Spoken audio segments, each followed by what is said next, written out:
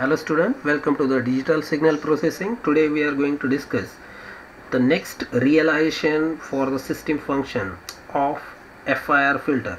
So let's say the next type is nothing but the cascade realization. This is what we have seen in the earlier case also. So it is quite simpler.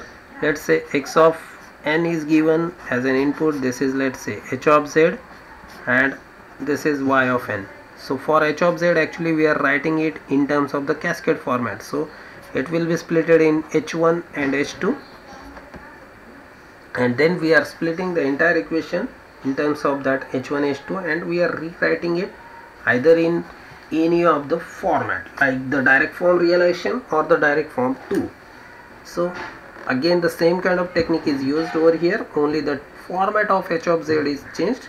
So it is non-recursive type so h of z will be let's say for example we are considering it like 1 plus 2z inverse minus z raised to minus 2 into 1 plus z inverse minus z raised to minus 2 this is what the h of z given.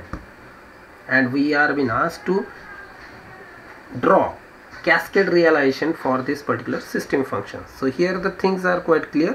Whatever the h of, h of z is given it is already splitted in h1 and h2 so you may assume this as a h1 and this as a h2 it doesn't matter. Only the representation that should be appropriately done according to the given statements. So if you assume this as h2 accordingly you need to write it properly.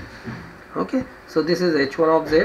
So h1 of z is nothing but written like 1 plus 2z inverse minus z raised to minus 2 so if this is what h1 of z directly from this h1 of z one may prepare let's say y1 of z. So y1 of z is what? X1 of z directly take the multiplication of it to the other side terms. So it will be 2z raised to minus 1 x1 of z plus sorry minus z raised to minus 2 x1 of z. Similarly for h2 of z also we can write down related y2 of z since this is what h2 of z. So y2 of z will be by taking this term in the consideration it will be x2 of z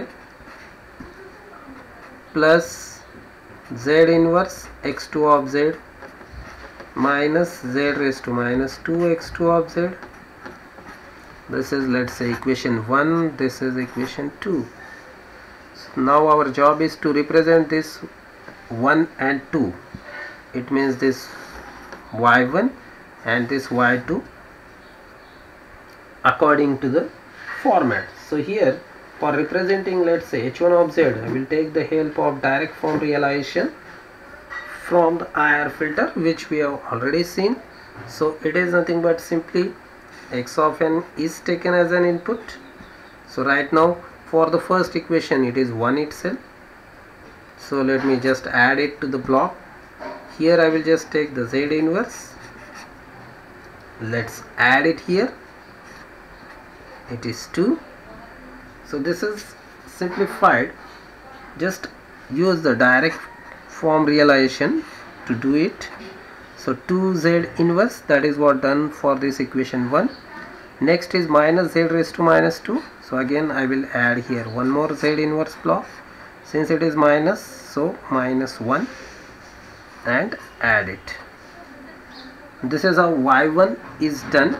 Now what about means this entire portion is nothing but for h1 now what about h2 so again use the extension of the same to the further part. So here it is nothing but 1 since it is x2 of z now we are doing it for the h2 of z. So refer equation number 2 so from this equation it is 1 so write here 1 sum it so as to get resultant y of n. So here I will just take the same signal from this point so as to write it as a z inverse.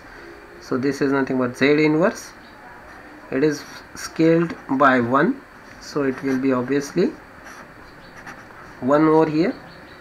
Next it is scaled by minus 1 so z inverse block which is written in the next step that we has to be scaled by minus 1 sorry this is not required. So directly it is summed up. This is how this is the representation for equation number 2 that is h2 this is a reflection of equation number 1 that is h1 this is how we can realize the given equation of h of z with the help of the cascade realization structure. And this is nothing but the cascade realization for the given equation. And that is true for FIR filter. So thank you everyone. Thank you very much